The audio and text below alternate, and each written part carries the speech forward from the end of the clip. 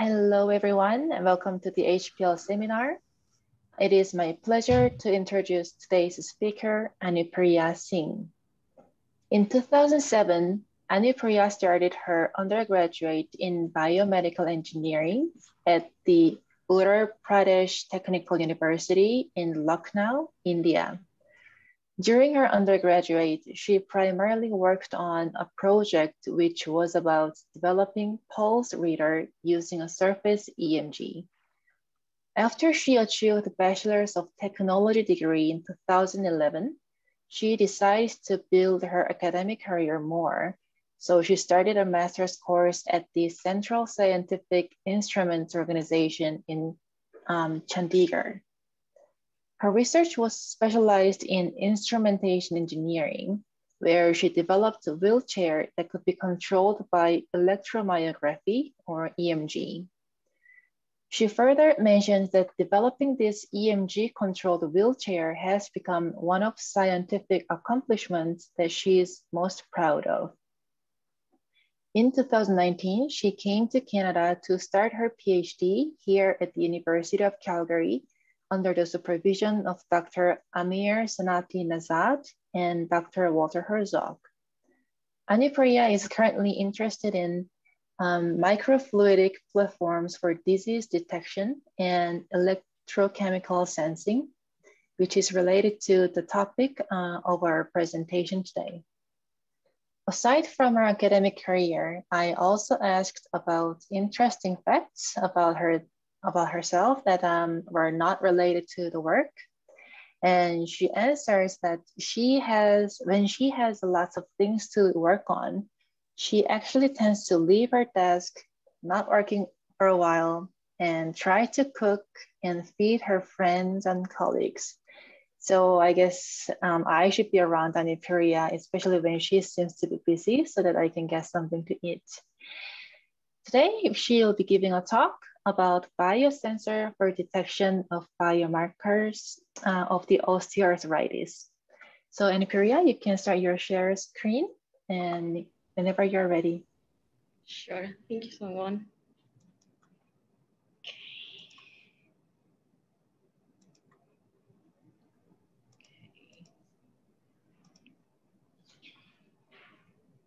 Hi, uh, I'm Anupriya and I'm supervised by Dr. Amir Sanati Nezhad and Professor Walter Herzog.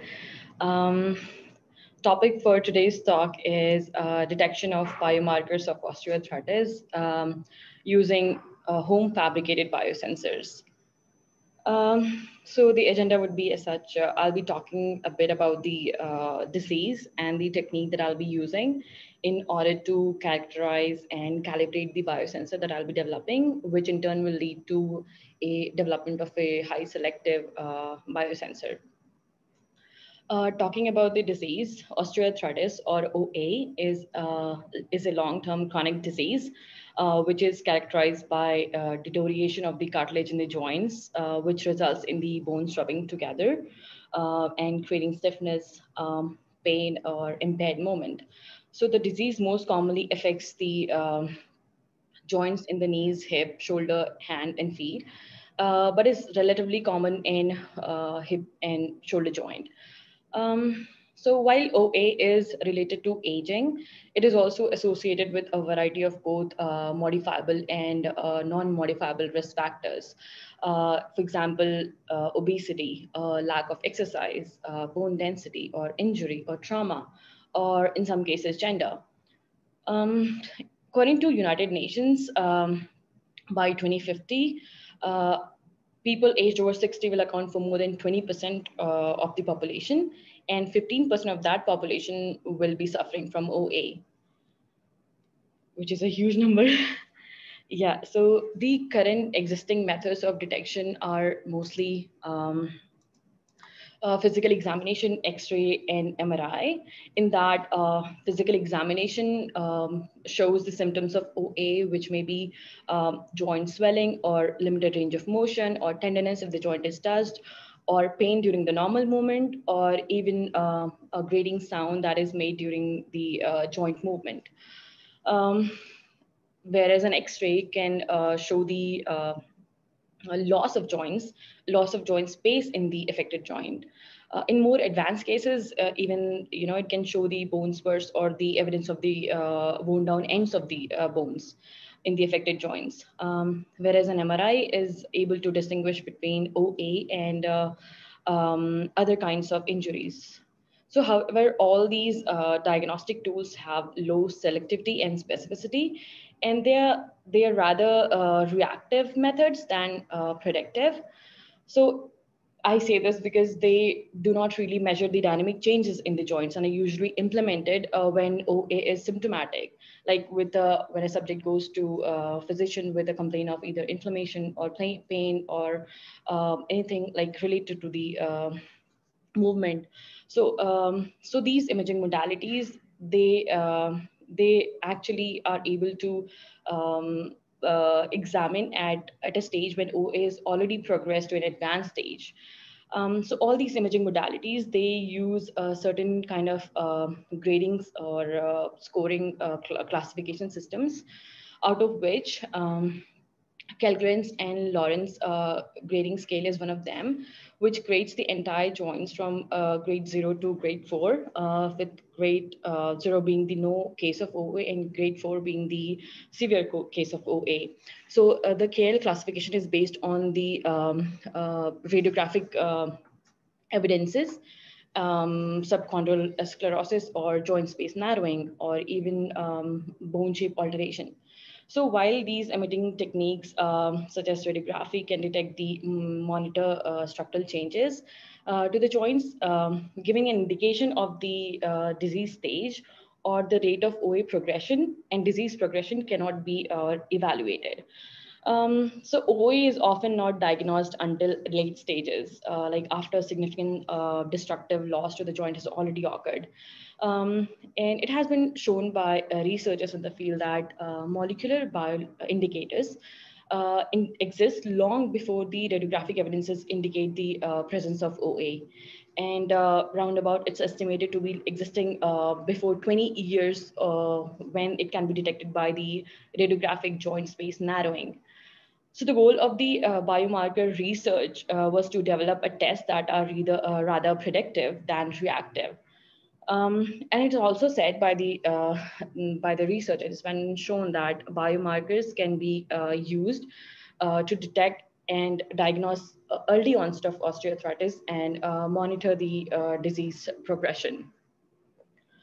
Um, talking about the biomarkers, so these are any um, biological molecules which are found in either blood, a serum, synovial fluid, or urine, or any other body fluids or uh, tissues, um, that is a sign of a normal or abnormal process or of a disease or condition. Uh, so biomarkers in osteoarthritis are most likely to be structural molecules or fragments, which are linked to either cartilage, uh, bone, or synovium. And uh, they may be uh, specific to either one type of joint or maybe common to all of them. Um, they normally may represent tissue uh, degradation or tissue synthesis or may be measured in uh, synovial fluid or blood or urine. So uh, osteoarthritis biomarkers networks, uh, they came up with a classification scheme, uh, which they named as BIPED, BIPED, uh, which actually provides a common framework for communication in the field, which classifies the biomarkers as burden of disease, investigative, prognostic, efficacy of intervention, or diagnostic. Um, so for my initial proof of concept to develop a biosensor, what I have selected is uh, uh, one such biomarker, which is, which is uh, cartilage oligomeric uh, matrix protein uh, which is a large uh, pentameric uh, glycoprotein secreted by the chondrocytes and is generally associated uh, with the cartilage degeneration in case of osteoarthritis or rheumatoid. Um, th this is also classified as BPD, which means it can be used uh, to distinguish uh, between the patient, uh, between individuals uh, suffering from osteoarthritis and not suffering from osteoarthritis. And in patients who are already suffering uh, from osteoarthritis, have existing condition, then how well or how is it progressing? And in people who are not uh, exposed to it yet, um, it can predict the onset of osteoarthritis in those people, in those subjects. Um, there has been a lot of research done in the field um, to actually compare uh, the two groups, that is the control group with the uh, with the osteoarthritic uh, mm, people. And what uh, the study showed is that there was a significantly high concentration found in the uh, people suffering from osteoarthritis as compared to the control subjects. Um, and also, there has been a comparison showing um, the concentration of serum, uh, concentration of comp in serum as compared to the KL grade. And as we see here, um, in mild case, it's it ranges from 25, uh, 35, 32 uh, to 2,542 nanogram per ml. So these all concentrations are in nanogram per ml. And we see a trend like um, in mild, moderate, and severe, the concentration of the maximum, it goes on decreasing, which means um, uh, in human model, um, the concentration of comp is inversely proportional to the uh, uh, duration of the disease, which means uh, when, when it's at the onset, it's uh, likely to be higher in concentration as compared to when it's progressing, when it has progressed to in um, like later stage of the disease. Um, yeah. So what my team does is, uh, in order to detect these biomarkers, we, de we develop biosensors, which which are used to um, detect these type of biomarkers, not only related to osteoarthritis, but related to other uh, infectious disease or disease as such. Um, so what are these biosensors? So biosensors are any analytical devices that convert a biological response into a quantifiable and processable signal. So the main uh, component of the biosensor is the bioreceptor. This can be either enzyme, antibody, or microorganism. And uh, the transducer, it could be either electrode, uh, semiconductor pH electrode, or piezoelectric device. So what happens is uh, the working, and this transducer actually converts the uh, interaction between the uh, analyte and the bioreceptor into a uh, processable signal.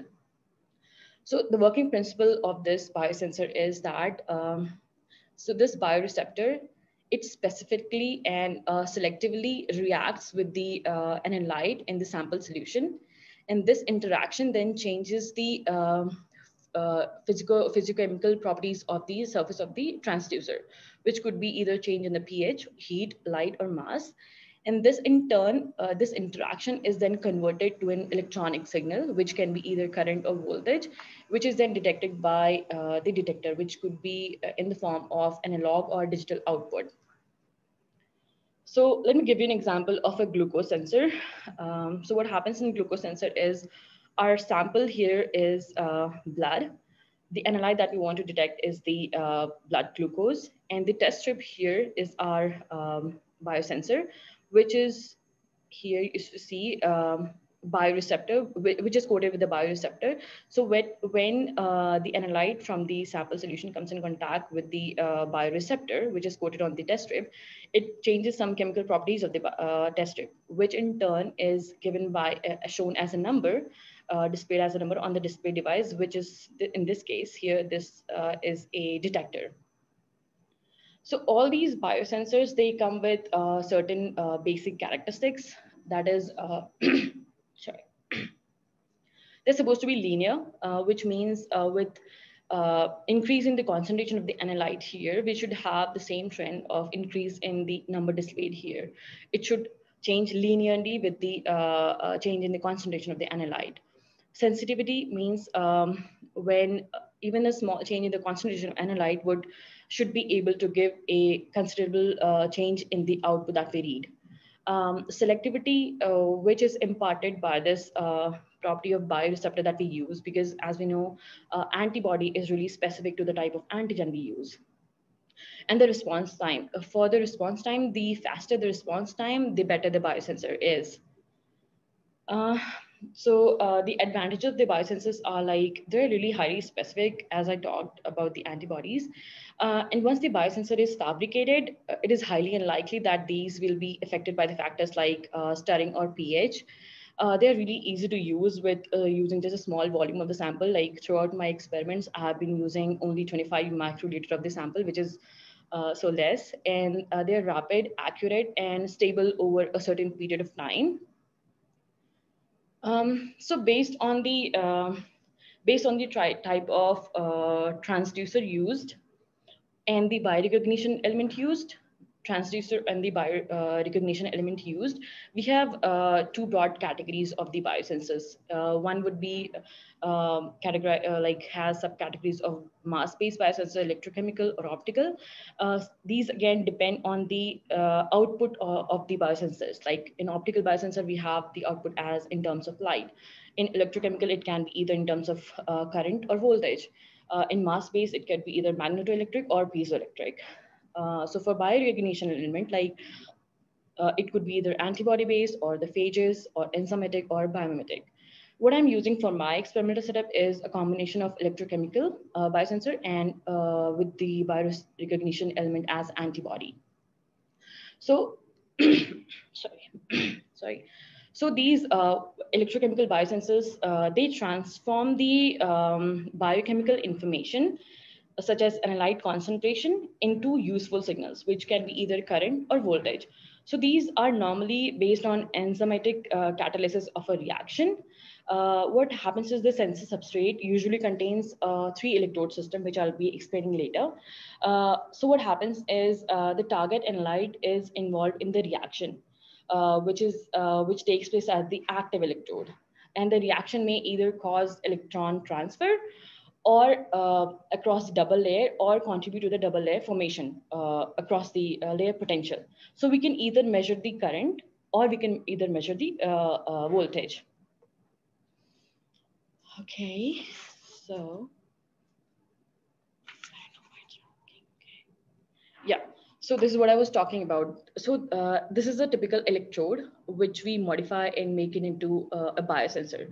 So this we call as three electrode system, which is uh, why, because we have a gold working electrode. This is a central area.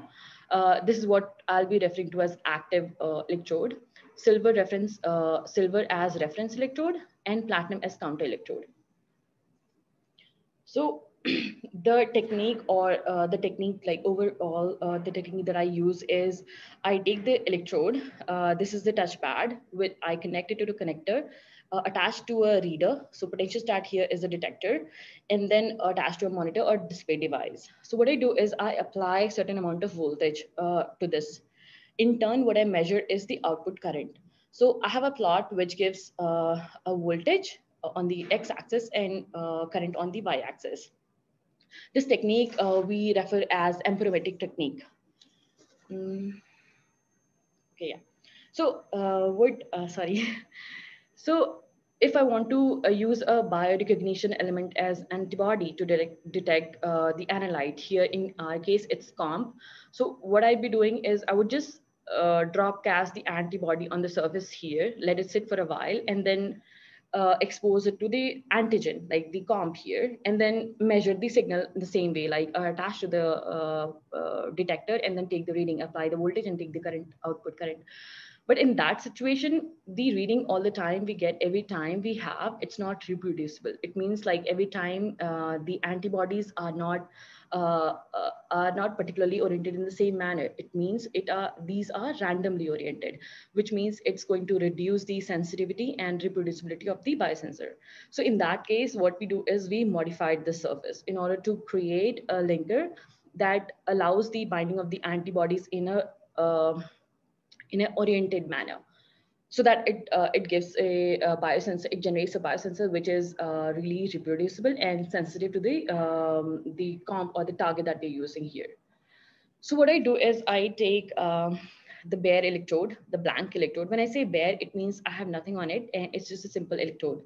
So what I do is I modify the surface uh, by using some organic or non-organic uh, or inorganic materials uh, so that to create linkers, which in turn would um, provide the attachment for the antibodies. Once the antibodies are bound, we will expose it to the uh, comp and let it sit for a while, then wash it and then take the reading. So if I don't have the uh, comp attached now, like this has been only to the antibody, what we have, we apply the voltage and we observe for the current. We observe a peak here. Um, and when we expose it to the uh, comp antigen and then let it sit for a while and then take the read, wash it and then apply the voltage and take the current, what we see is we see a decrease in the peak. which is attribute uh, which is attributed to the uh, reason like you know because uh, with addition of each of these layers the impedance of the surface here it increases which means there is decrease in the current so this is what we are going to measure once i have this um, surface modification done i want to characterize whether uh, the deposition of each of these layers was successful um, and if i could get a biosensor that i intended to develop so what I do is I uh, get a characterization curve. In that, I take uh, the same, I apply the same technique of taking readings at each and every step, like at the blank, after modification, after antibody immobilization, and after uh, it, um, it is exposed to or it comes in contact with the antigen or the comp. So what I observe here is, so this plot here shows um, the uh, potential applied on the x-axis and output current on the y-axis. The technique that I'm using is amperometric technique, um, and I have used throughout like 25 microliter of the sample. And n is equal to three means like I have used for each and every uh, reading, I use three electrodes. So once I, when I took the blank electrode, I had the current peak of around uh, 95 to 96 microampere uh, which is on the bare liquid. It has nothing on the surface. So this would act uh, as our base for uh, uh next uh, few surfaces that we are going to deposit on the electrode. Um, after the modification, like the first modification, what we see is there's a decrease in the peak, um, which means that by the addition of these um, organic or inorganic substances, what we uh, what we do is we increase the impedance on the surface. That is, uh, this the resistance to the flow of electrons increases, which in turn decreases the current. Um, next, what happens is once we know, and also this confirms that the deposition of that layer was successful. So now we move on to the next step. That is, we have already created a linker that could uh, provide an attachment to the uh, antibody. That is our next step after this, what I do is I take uh, 25 microgram per ml concentration of the antibody, um, anti-comp antibody, and I drop cast it on the surface of the electrode. I let it sit for a while, I wash it, and then I take the same reading. I apply the voltage and I uh, uh, read uh, the current output. So what I observe again is like uh, we have decrease in the peak, which again um, is because of the increase in impedance that uh, reduces the current. Uh, and also it infers that um, we have the successful immobilization of the antibody on the surface of the electrodes. Now this is uh, very selective. This is supposed to be very selective because we have used anti-comp antibody. So now we have the antibody uh, deposited on the surface. What we could do next is uh, we could just uh, put our uh, comp, drop cast the comp on the surface and then let it sit for a while so that antibody and the antigen interacts and then wash it and take the reading. But in that case, we, we would again not get, uh, get a repeatable re result. The reason being the entire surface of the electrode is not covered by the antibodies. It means we have some leftover spaces which are blank. So the uh, COM could go and sit in those uh, places and then give a false in decrease in uh, decrease in the current. And in order to avoid that, what we do is we, uh, we uh, use a blocking agent uh, in order to block those non-binding sites. Uh, for that as well, in order to have that successful uh, deposition of that layer, we should uh, observe a decrease in the current peak. And this is what we observe, that is the current peak decreases as compared to the antibody after this, what we want to do is now we have, uh, uh, we are successful in doing all these steps. Now we want to um, see the interaction between the antibody and the antigen. What we want to do is we, uh, uh we have certain concentration of the comp. Uh, I have here used 10 nanogram per ml and I uh, drop cast on the surface of the electrode, let it sit for a while, like 30 minutes, and then wash it and then take the reading.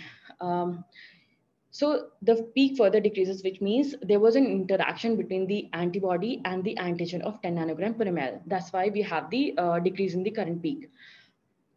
In order to further confirm, like, what if uh, I increase the concentration of the comp antigen? Uh, what what happens? If I decrease the concentration of the antigen, what happens? So I have one case here added uh, for the concentration of the comp to be 75 nanogram per ml, and we see that it decreases furthermore. So which means like by addition of each and every concentration, increasing con concentration, it should decrease. And but of course, it will have a saturation point, which means uh, how much uh, concentration it can go up to in that detection range. So once I have this uh, electrode like the biosensor characterized, uh, I wanted to see um, how well the biosensor, uh, you know, um, how well it is able to differentiate between one concentration to the other concentration, and how well does it um, work in the lower concentration range. Um, for this calibration curve, what I did was I kept all the uh, steps until the blocking agent to be constant and uh, uh, just changed the concentration of the comp. Uh, and the way I did was I had the serial dilution from 100 nanogram per ml down to 1 nanogram per ml. Uh, the technique that I'm using in this again is uh, amperometric, where I apply the voltage and I get the output current. So um, what I observe is, uh, so yeah, I have a plot now, which shows a concentration of the comp on the x-axis. And on y-axis, we have I naught minus I in microampere. So um, I naught here stands for the current that is corresponding to the blocking agent uh, used. And I here stands for the uh, current, which is corresponding to the all the uh, concentrations from 100 nanogram per ml to 1 nanogram per ml. So we take the difference on the y-axis. So what we see is even the smaller range from 1 nanogram per ml to 100 nanogram per ml, like uh, it's quite a bit linear. And one important thing to note in this graph is the error bars were so small they that they are contained within the uh, red dots. Yeah. And so um, once I had the you know calibration and characterization done, um, so these biosensors they are specifically they they they should be selective, which means um, which means if I make if I'm fabricating the biosensor to be uh, detecting the biomarkers like COM, it should only detect COMP. It should not be able to bind to other uh, other biomarkers. So what I did for this test was I, in my sample solution, I had this UCHL and NFL. These two are the biomarkers of the brain injury and bovine serum albumin. So I spiked all these and then I took the reading. Again, here I naught is the um, uh, current peak corresponding to the uh, blocking agent and I is uh, the current corresponding to the different uh, to the 10 nanogram concentration of these biomarkers. And what I saw was the uh, the more the difference, which means uh, the uh, better the interaction between the antibody and the uh, comp. So, which means here we have uh, the biosensors, which is which selectively reacted to the comp rather than the other biomarkers in the sample. So, meanwhile, like I was working um, on technical side uh, of the project. But meanwhile, what uh, I was doing with uh, in collaboration with Professor Herzog's group was we were doing a high fat and high sucrose diet where we had two groups. Uh, one was fed with chow and the other was high fat and high sucrose diet. And um, what we wanted to do with this was once I had my uh, biosensor developed, uh, we also collected the blood um, at a at three weeks, six weeks, uh, nine and twelve weeks. What we want to see is uh, the trend of the comp uh, concentration at these time frames. And uh, once we have uh, better results, or once we have these results, at some point we want to be able to compare these results from the biosensors with the histological changes in the joints observed. So um, yeah, so in um, summary, I would say now, for now, I have the biosensor, which is highly selective to the comp, um, uh, and it is able to perform linearly even in the lower concentration, and it's quite quick, as in it just uh, gives a result in 25 to 30 minutes uh, after fabrication. And uh, uh, thank you to uh, Professor Herzog, Dr. Amir, and Nada uh, for helping me out in the unknown domain. And uh, yeah, I can take up any questions. Thank you, Anupriya. So now if you could stop sharing the screen so we could see each other um, better, it would be wonderful. Thank you very much. Also, I would like to kindly encourage everyone to turn on the camera during the discussion period if you um, feel comfortable with it. I think um, it'll give us more active discussion atmosphere. Thank you for doing that.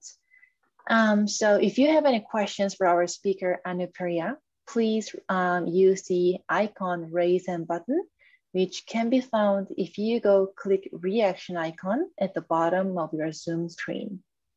If you or Zoom doesn't uh, seem to have the button there, then please feel free to send me a message via Zoom chat, and I'll call on you when it's your turn.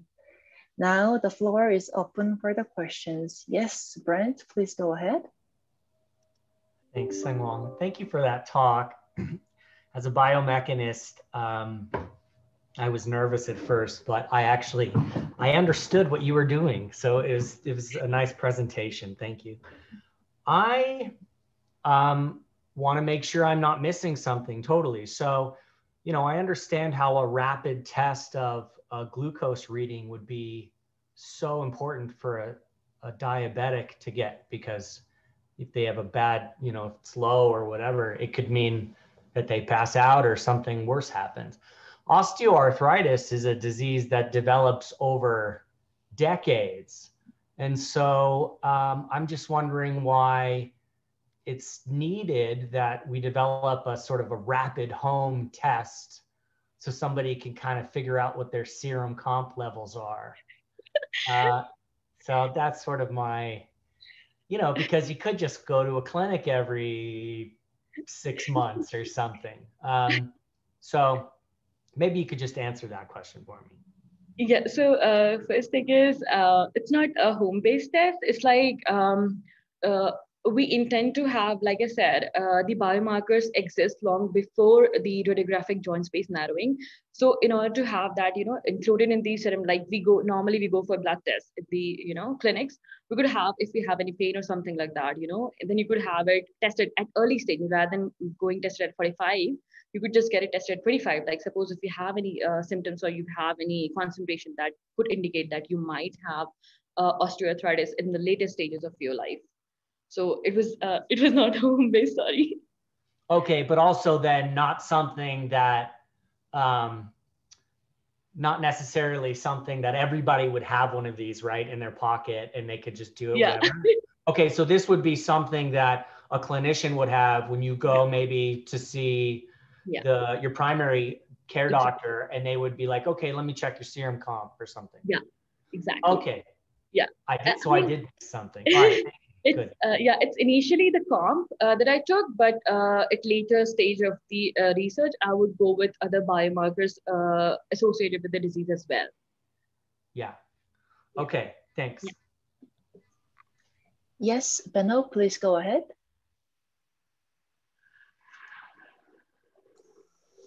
So you know it with 30 that you have you will have osteoarthritis. So what then? What does it help? I mean, what it just makes your life miserable to think about your old age, or I, I don't see what the advantage is. Could you explain that to me? Uh, well, that's thank you. That's really a nice question because yesterday, uh, uh, Dr. Herzog and I were discussing the same thing. That what if you know we are able to detect it at early stages? Then then what? Then what's the next step? Like, what's the intervention? So I think uh, being on the diagnostic side, I would just say uh, I could provide a platform or, uh, you know, for the pharmacists or people doing research in the uh, treatment side to come up with something that could have an intervention where you could um, slow the progression or uh, have it less painful. right now, I could just say this much. But but do we do we have such? No, no, no. Currently, we don't have. Uh, though uh, I think uh, Professor Herzog's group works on um, uh, like doing interventions of how it would affect um, if a person, if or in animal models generally they do where uh, you have different uh, fibers or um, I think Professor Herzog, uh, could you please answer that? And I have a second question, may, if I may. You Go ahead, mentioned you mentioned that 15% of the people over 60 have osteoarthritis. If will, I see, will have by 2050. Pardon me. Uh, so it was by United Nations that they predicted, uh, looking at the statistics, that by 2050, year 2050, 15% uh, of the uh, people aged uh, over 60 will have osteoarthritis. How many are there now in that age group? You know, I think it's much more. Yeah. Um, Looking at my colleagues,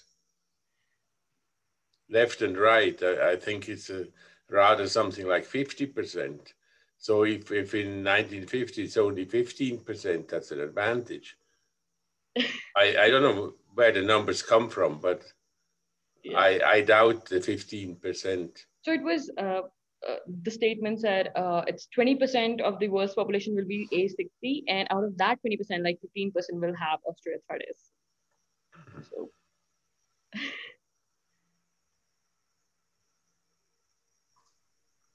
Um, okay. Um, Brent, you have uh, other questions for Anupriya? I do have a question, but I'll just say, you know, Benno has firsthand experience with this OA stuff. So That's he, right. He, he's got the numbers. Um, okay, so the other thing I was thinking about logistics of going in to see the clinician uh, to get your um, serum comp taken is a lot of biomarkers have sort of a diurnal kind of fluctuation. And what would that do to your signal? I mean, maybe somebody has their clinical appointment at 6 a.m. and another person has their appointment at 5 p.m. And, you know, just because they're, you know, appointments within six months, if it's the same person, let's say, six month appointments we're not at the same time. Is, is that going to be a problem? Do you know anything about the uh, circadian rhythm of i think there was an article like in 2017 that uh, they had this uh, daytime variation where they uh, took uh, during different day uh, like uh, same day like different time frames and compared the serum comp and they found like it did not vary much. It was uh, closely related it did vary it did uh, you know differ but it didn't vary much like significantly. Okay. Cool. Yeah. yes art please go ahead. Well th this is just a question out of curiosity. I don't know too much about how these biosensors work but i was just wondering when you have something like this does it just work uh, as an absolute measurement or do you need to do some sort of calibration? Like do you need a you know a test solution or two test solutions that you have to uh, try your sensor on. And then from that you you figure out the you know some coefficients or, or things like that. Um, normally uh, i think it would depend on a batch fabrication the way it's done like uh, each of the batch they come they are calibrated because they might have some uh, inter-batch variations. So you have a standard uh, calibration curve for one batch. And then uh, the uh, the test uh, then uh, you know uh, depends on that great not for every not for every uh, other test you have to do the uh, mm-hmm. calibration mm-hmm. i still um yeah tim please go ahead uh, Anupriya, I had a I had a question. You, you showed in that chart that from from you know, no OA to, to very severe OA. Uh, in the serum, I didn't see that there was any significant difference. So I'm wondering how your test is going to be used. I mean, the chart that you pulled up, there was a P of 0.12, I think it was for that. Yeah, yeah. So if you could maybe share your screen and go back to that.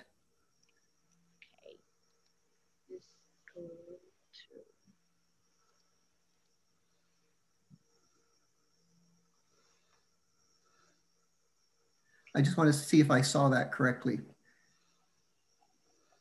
This one? Yes, that's the one.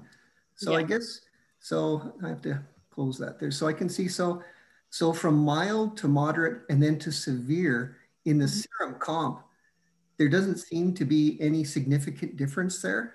I mean, there isn't in the, in the synovial fluid, but, but from my reading of that, if you were to take serum comp levels from the mild person and the severe OA person, there was actually no difference. So how are you, so how are you going to use your test? Are you going to, to track individual comp levels in people to see if it rises over time? Because from the basis of this test, you know, being used on this population, I don't see that you would see anything significant. Yes. So, um, like I showed this, I included this uh, chart in order to uh, show kind of comparison. Like when we look at the maximum level of all these uh, subcategories like mild, moderate, and severe, we see a trend like the decreasing trend uh, in the max level. Like for max, it's uh, around uh, 2.5 nanogram per ml, like 2004, 542 nanogram per ml, and then it goes on decreasing. So, um, so I think um, I think it's it's more likely uh, tracking the individual patients over a certain period of time, uh, and then going from zero to development of the osteoarthritis. I'm not sure how well it would be able to uh, go to that level where it could uh, distinguish from, uh, mild, moderate, and severe, which is of course like third, grade three, and grade four OA. Right. Okay. Because I mean, the synovial fluid shows a very, you know, a marked increase with the severity of the disease. So, yeah. Yeah. Okay. But your but your test is going to be based on serum. You're going to be taking yeah. blood samples, right? Okay. Yeah. Yeah. I mean, because a serum, because it's uh like easily accessible. Like people won't be uh, like control groups won't be able to give this uh, like synovial fluid as it is. You know, like we won't have the control samples then for synovial fluid. Okay. All right. Okay. Well, thank you. I still have a few more minutes for a more a couple more questions. Yes, Walter, did you actually raise your hands? Yeah, yeah, okay. yeah, I, I, did. Yeah, and I have a couple of couple of questions, and uh, some are similar to to uh, what has been asked before. But um, what what do you act? you know? Uh, you said that COMP is released from um, from the chondrocytes, and what what do we know actually, if anything, when and how um, comp is released.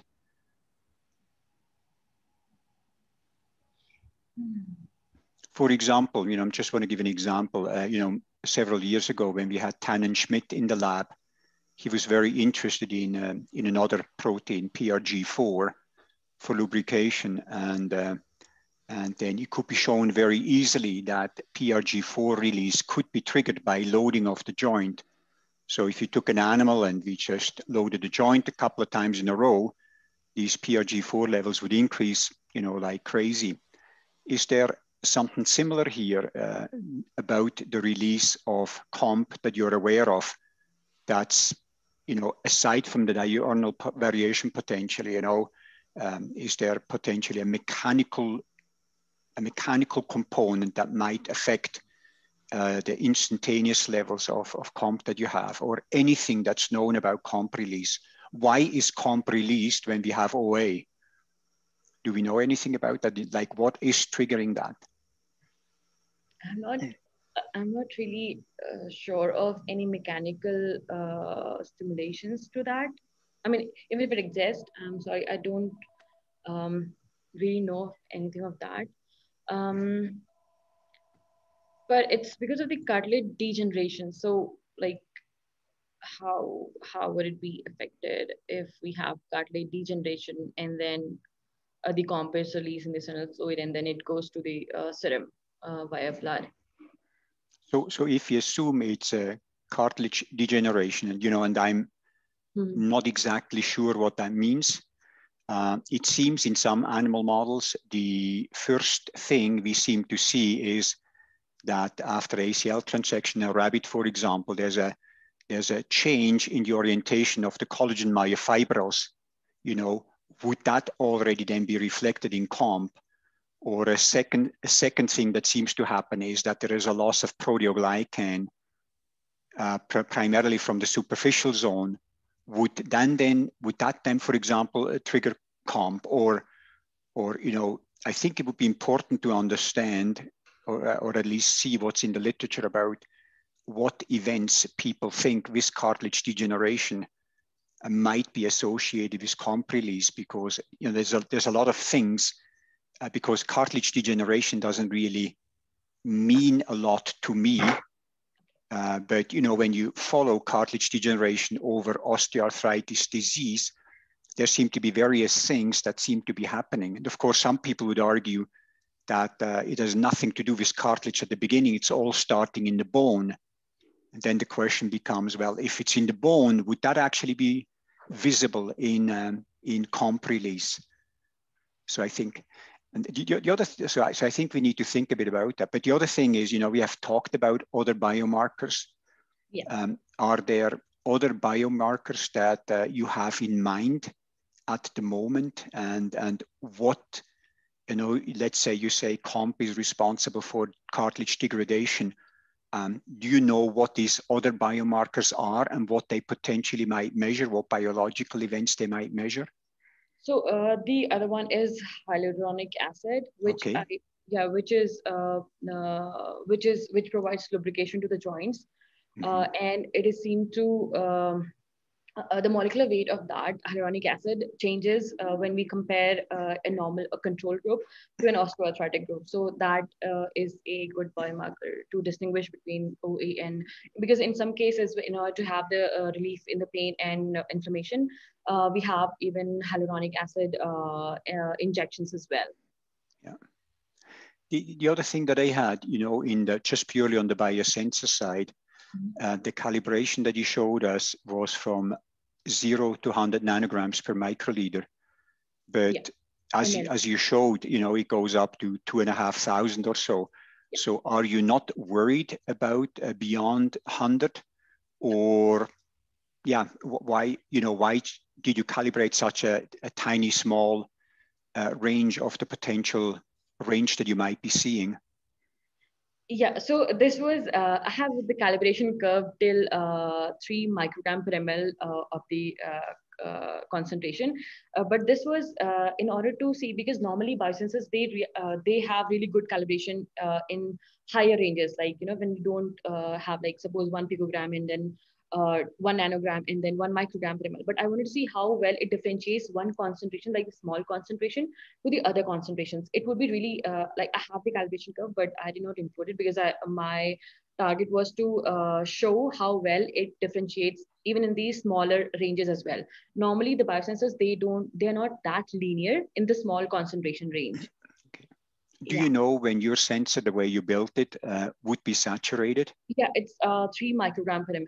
Like after that, I don't see uh, any uh, decrease in the peak that I. I'm Three micro, so 3,000 nanograms Yeah. per microliter. So you, you would then cover the full range. Yeah. Okay, that's good. Yeah. Yeah. And so I'm aware of some comp studies that have looked at uh, uh, mechanical interventions of the joint, you know, an ACL transection and that like what I would call post-traumatic. Mhm, mhm. Um, and in now, now here with us, you're looking at an obesity-induced um, model. Um, do you, is there any information out there on comp release and comp changes with a potential osteoarthritis onset in, in metabolic, in a mot- metabolically induced OA? Well, I have one with ACL where uh, they show in the animal model it's like really small. In human, we have such a big variation, like going two thousands, but in animal model is around like one nanogram per ml to uh, over 12 weeks, it's just like 3.25 uh, nanogram per ml. Um, But I'm not that sure about the obesity model. Uh, but of course, it differs from the uh, post-traumatic model and the uh, in- like obesity model. Mhm. Okay, so just to speculate a little bit, you must have been thinking about that as you developed the study with NADA. What do you expect to see in Uh, terms of comp levels with the high fat sucrose diet, you know, at zero, three, six, nine, 12 weeks? What, what, what do you expect to see? I, I know you don't know that yet, but uh, do you have any, uh, you know, a framework in mind? I mean, looking at the ACL model, they, uh, it showed for a rabbit, and it there it was an increasing trend. But since this is obesity model, and uh, um, as in humans we see, uh, it's uh, the trend decreases. Like at the onset, it's really high concentration, and then as the uh, disease progresses, it's going to be like lower, lower, lower in concentration. So I'm expecting the same, but let's see. And Okay. that's a surprise. Yeah. Okay, good, thanks. I see Venus, you have a question as well? Please go ahead. Uh, yes.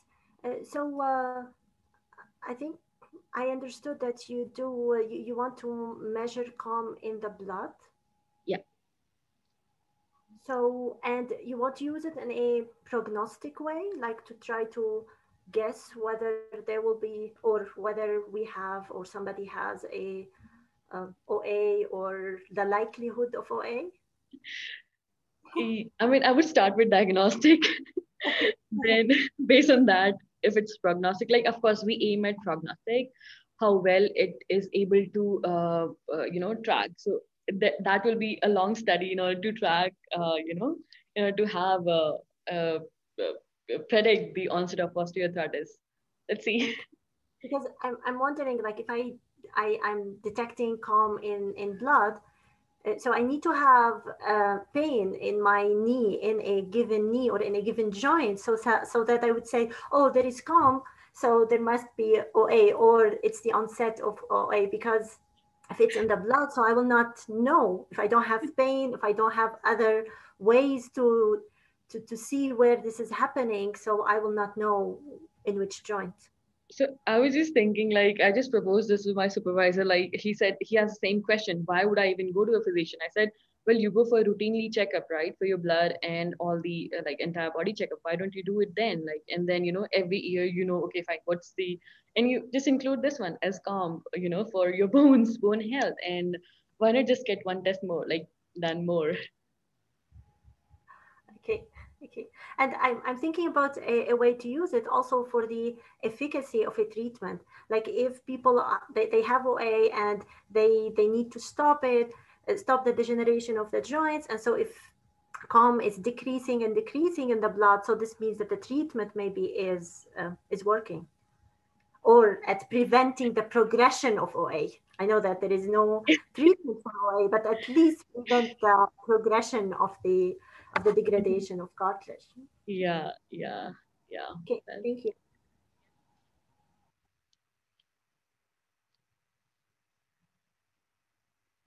Sorry, will there be any further questions for Anupriya? Um, Okay, I okay. See, Walter, you have a question? Yeah, yeah I have an, another uh, kind of unrelated question, and uh, but I'm just curious uh, because in in humans we know that uh, osteoarthritis seems to be sex linked to a certain degree. Uh, women tend to have more, at least knee joint osteoarthritis. I'm not sure if that's true for other osteoarthritis as well, but they seem to have more knee joint osteoarthritis than men. Um, are you aware if um, COMP or other biomarkers would be distinctly uh, sex linked? They might be different. They might have to be treated differently uh, between men and women. Yeah, there was a study which uh, showed uh, uh, like gender based, and in that the concentration of the COMP actually was higher uh, in the female as compared to the male. So um, it was and then as the degrees uh, you know uh, as they uh, compared the uh, control group and the osteoarthritic group they observed the same thing. Even in the normal uh, uh, male it was higher as compared to the female and even in the osteoarthritic group like if the, both like the male and the female have osteoarthritis at the same stage even then the concentration of the COMP was higher in male compared to the female and in that particular article did they speculate why the um, COMP levels might have been higher in the men compared to the women? Um, not really. Uh, sorry, I said uh, it was higher in the female. It was higher in the female, sorry. Yeah. yeah. So if yeah. it was higher in the female, uh, same question. Did they, uh, did yeah. they uh, speculate why that would be? Yeah, uh, the reason was like uh, something related to the bone density and the mechanical load that the uh, the bone structure basically of the uh, male and the female. It's kind of uh, the female body is not made for uh, uh like that uh, load bearing, and uh, sometimes because of the all um, like the load bearing capacity of the joints. That's what it said. Was different between males and females. Yeah, females. yeah that's why females tend to have more knee OA or OA as compared to the male. Okay. Yeah. Yeah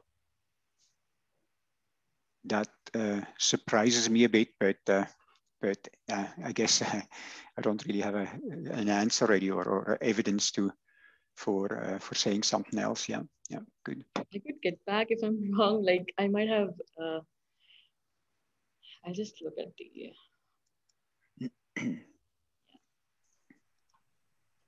there be any last question for Anupriya? If not, I would like to thank Anupriya again for giving a talk. Um, mm, for the next week's seminar, we will be hearing from an invited speaker, um, Dr. Jos Vanrenterghem at the um, Catholic University Leuven in Belgium, and he will talk about mechanotherapy, turning movement into medicine. Um, I would like to thank Dr. Francisca Pousset for inviting him. I hope you have a wonderful weekend and I'll see you all next week.